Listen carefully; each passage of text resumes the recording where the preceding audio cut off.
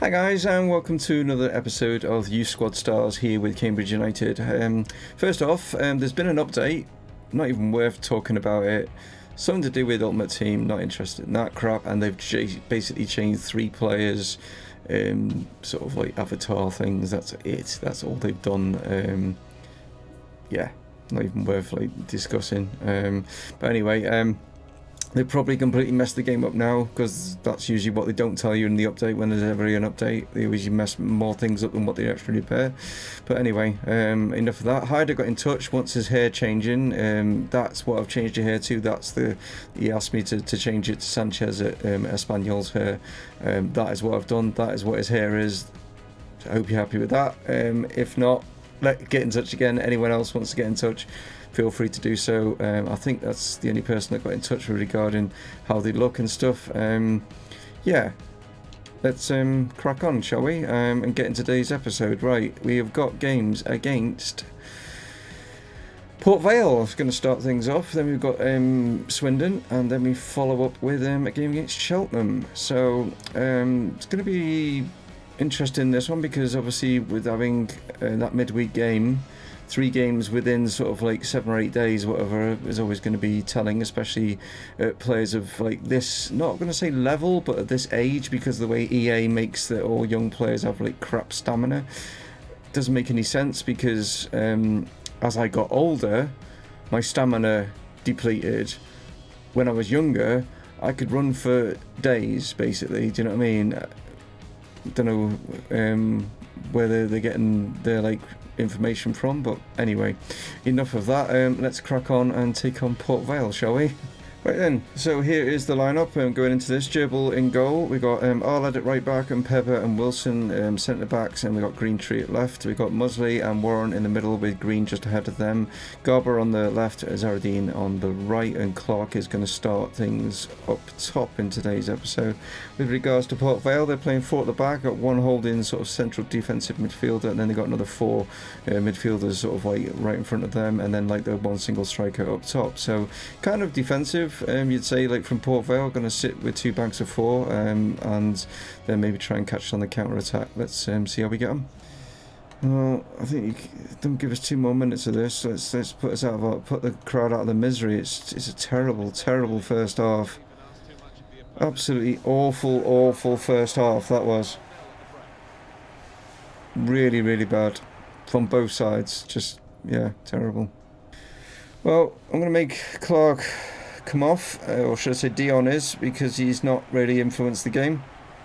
Uh, Trevor Mahoney's going to come on. Arnott is also going to come on for Jake Warren because we know what Jake Warren's stamina. He's probably got the worst stamina of all these players and stuff, and yeah, he's feeling it.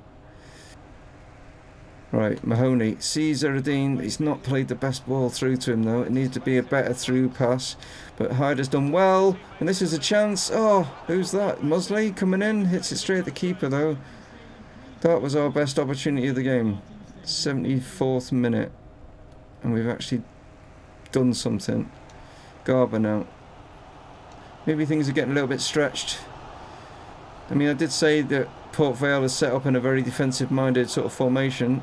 And maybe they're just tiring a bit now. Who is on cue to come in with one of his signature type goals? It seems to be a good combination between Haidar and Trevor. I think Trevor is now maybe calling out to be our resident striker. Kind of hit it.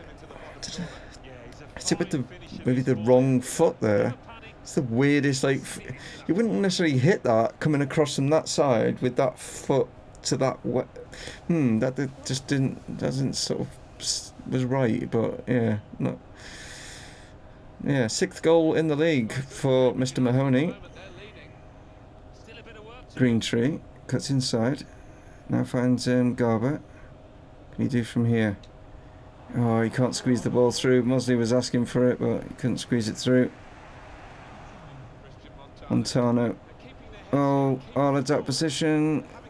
Hanat gets this across. Gerbil with a good punch. That should be it. Yes.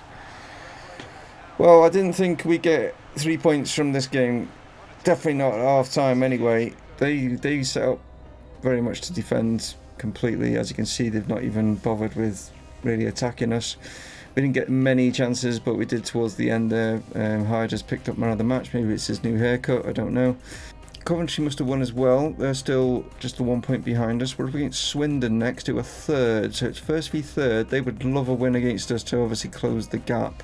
Right, game two then. Um, as you can see, pretty much everyone's been changed because obviously there's only a few days in between like this one um, and um, the game against Port Vale. So we got um, JB3 is going to be starting. Contemplating starting Trevor, but then his stamina wasn't full on, so he's on the bench, um, ready to come on.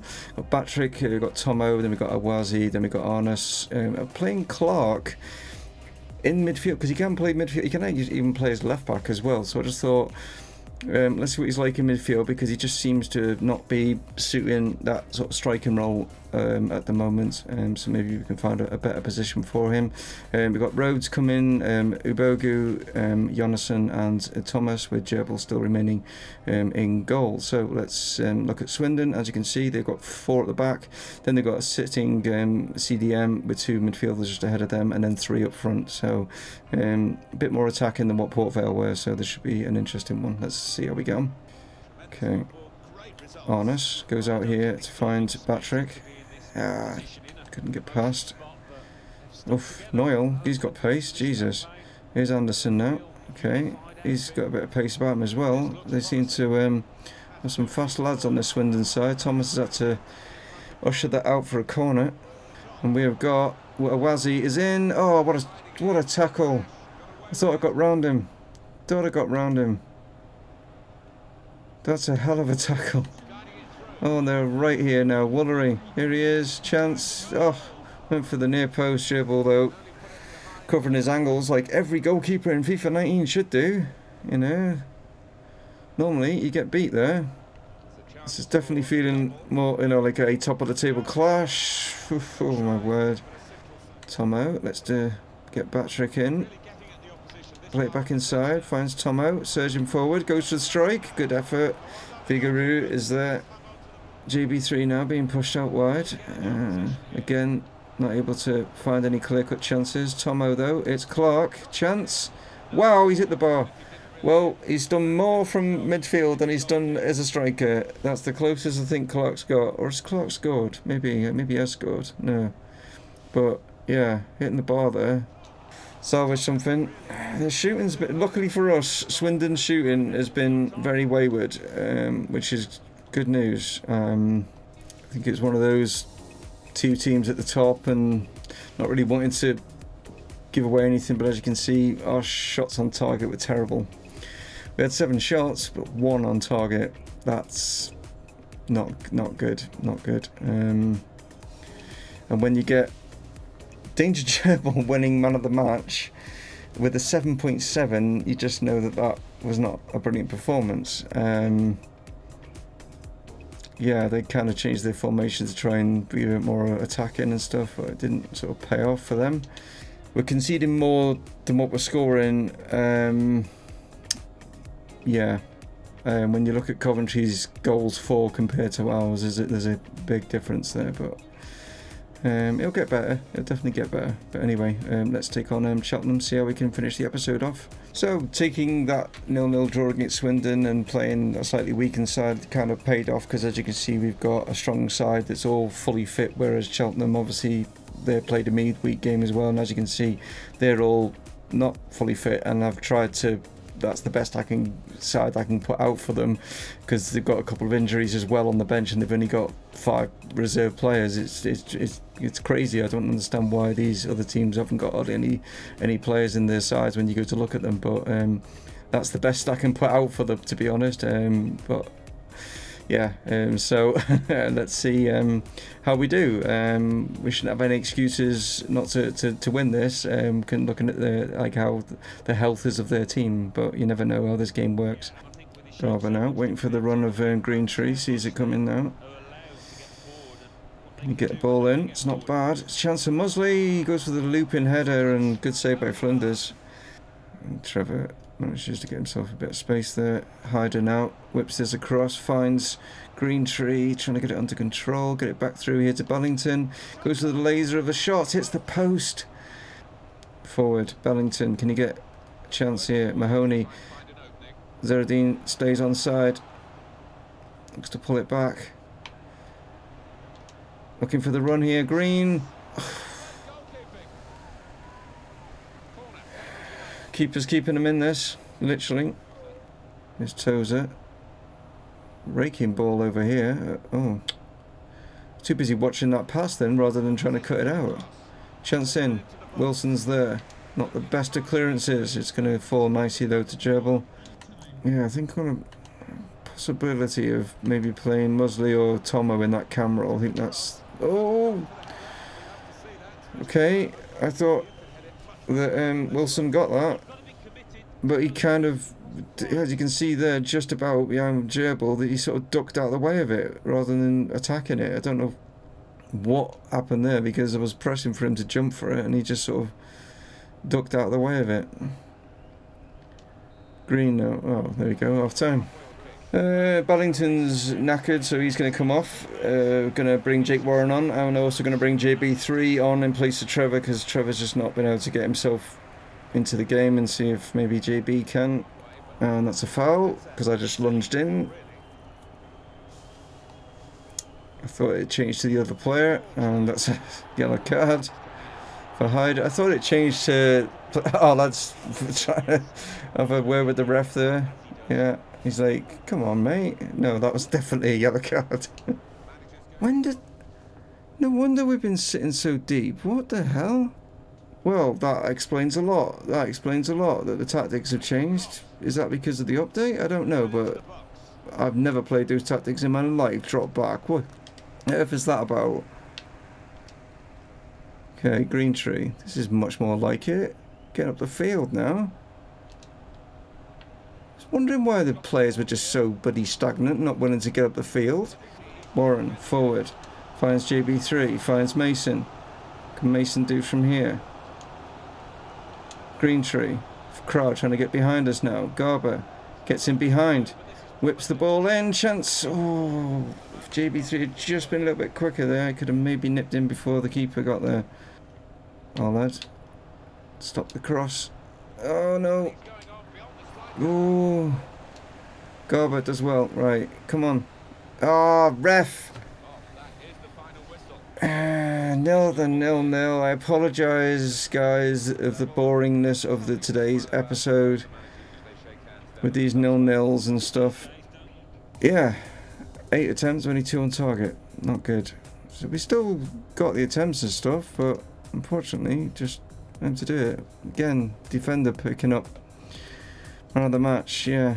Don't know, because maybe I've been feeling like that for a few episodes and stuff. In fact, sod it, because there's been just nothing really in today's episode, I'm going to play another game, because we've had two nil-nil, so I can just whip through the the crap on the like um, highlights. Um, Coventry are now three points ahead of us. Who have we got? It finished off this month, doesn't it? Northampton. There we go. We've got to take on um, Bear um, Northampton finish off March. Christ, we're nearly into April. God, the season's nearly over. That's that's flown by. Right, so that I don't send you all to sleep, let's see if we can um, do something. I've made sure that the settings are right now, as in the um, tactic settings, that is, like, you know what I mean? So, um, as for the side that's going out, we've got a couple, just a, a few tweaks here and there. Um, brought Arnas in and also we're going to play Clark again in that midfield. It just gives us a bit more as you can see, pretty much all our players now getting around about the 60 mark now, which is pretty good to see. We've got um, the back four is pretty much sort of like kind of establishing itself now. Gerbil in goal, we've got Muzzley and Cam, Garber, Zeradine, yeah, they, they're sort of like definite um, in. Trevor's going to start this one um, with JB on the on the bench. Um, as for um, Northampton, they have got five at the back, then they've got three in midfield with two up top, so it's it's it's not necessarily defensive. It's more you know counter-attacking kind of like look inside, um, with having the two um, fullbacks that can just bomb on, um, and then having those two strikers up top. So should be uh, we should have. Uh, should say that we've not had any so far, but we should have goals in this game. Let's find out. Okay, Northampton to get things off and running here. Let's see um, if one of these two sides can at least entertain um, the crowds. Williams knocks this forward. Chance. Oh, that's a great sliding challenge from Wilson with his long legs there. Wow. That could have gone all sorts of wrong right there. Okay, Turnbull. Man, they are not playing like a team that's down in 20th, let's put it that way. You find Mahoney. He can. Nearly got one of his spectaculars in the corner there, but good save there from Turnbull. No, not Turnbull. That's Turnbull on the Turnbull. Turnbull on the ball now. What am I about? Players out of position here. Williams going to dink this in, and Pepper wins the header. It's going to fall here to Greentree. Can he get the ball under control? He can. Garber now. Inside. Finds Mahoney. Goes out here to find... Uh, Haidar. Knocks it back. Clark comes to Arnott. Hits... Yeah! How was that in? Oh, wow. That was just a weird... Why is it that he always scores weird long-range goals? Like... What is it that is with his... It's, he must have... I don't... It's just weird. It's like... It just dips. It just dips and like and clips the underside of the bar. It just dips right at the last like.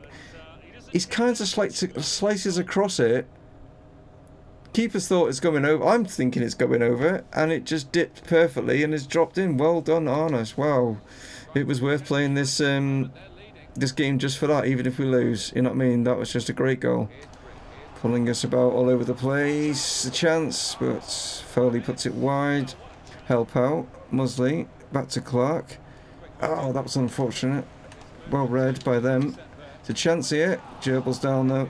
Can he get this back inside? He can. Garber Goes for it. Oh, it takes a deflection. Or a block, in fact, not a deflection. I'm to have to slide in now and cause a foul because needed us to go out. Alright, I slid in. Wasn't a foul. It's definitely a foul, surely. Oh, there it is. That's why it's not giving us a foul. I just remembered. Game's not going to give it as a foul when they've got the momentum could just tell they were just so constantly on us, but I guarantee that their stamina is like going to be pristine. Just didn't win that header there. Garber and Greentree both go in and one probably thinking one's getting it, one thought the other one was getting it, none of them get it. Played across and Gerbil is beaten. Wilson, look at him, he's knackered. He's not going to reach it. He's through. I've got no players. Gerbil, thank you. Jesus Christ, my players were so slow then. Wilson's, look, he's dead. He's just jogging back. He's Warren, who's not got the best of speed, was the fastest man back there. I mean, I know he's only just come on, but that just goes to show how, how knackered my players were then. Yeah, this is going to be a 1-1 at this rate. Oh, they're going to nick it, yeah. As you can see, again, what is lacking is the accuracy on target. We are creating the chances. Malcolm Clark is actually going to pick up man of the match here. So uh, that also states that I think midfield is where he needs to play. Yeah, I think that's where he's going to be playing from now on. Swindon have dropped away, but at least everyone's played 39 now, so we get a bit more of a, an idea of what's going on. Colchester only one point behind us, Burton are way off the pace. So we're, we're in the automatic promotion spot by a clear seven points, and we've only got seven games left. Yeah, but anyway, we need to do, um, yeah, look at the dice. Right then, as you can see above, um, there are all the names. Let's see which um, group it's going to be, and it's going to be the middle group, Blues. Okay, uh, which person is it going to be? Number five. It's Sam Holton doesn't get much of a run out, but it's going to be Sam Holton, so I'm afraid... Oh, no, need to find out which one it's going to be. First lot. Come here. I apologise, guys, it's not one of you. Is that a three? It is a three. Uh, it's a... Double... there, three. Okay, which is okay. This is an interesting one. Um, if Sam Holton can be involved in three games without getting substituted, he gains a plus four to his stamina. Okay, if he can be involved, if can be involved in three games, he's not getting he's not getting three games. So so we'll, we'll have to just see on that one. That's going to be after one I'm going to have to remember because he's not really getting games. So we'll just have to see if he can get he can be involved in three games. So he needs to play three games and not be substituted. So in other words, he needs to not come off because obviously his stamina is low just to, to, win the plus four of the stamina.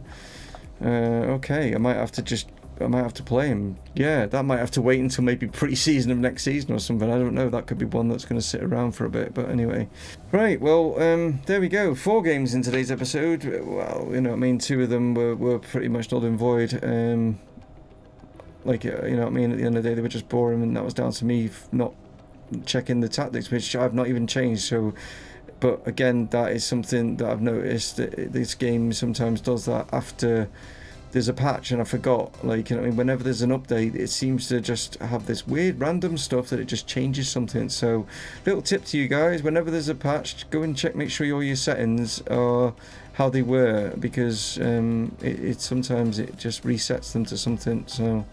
But anyway, there we are. We we didn't lose. We didn't lose. We got three draws and a win. Got a great goal there from Arnas at the end. Got a great goal from Trevor as well in first game. Yeah.